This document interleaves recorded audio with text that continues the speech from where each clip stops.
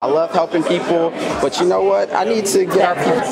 Um, you got six friends. Really so keeps everything keeps circling back to me, but hey. Just, you know, it's important that I use my influence to help others and young girls that you excited. Look. How you feeling? That's the most important part. How you feeling? I'm super excited. Yeah, I'm super, super excited. excited. Yeah, and she got something to show you guys, and it's coming up in a minute.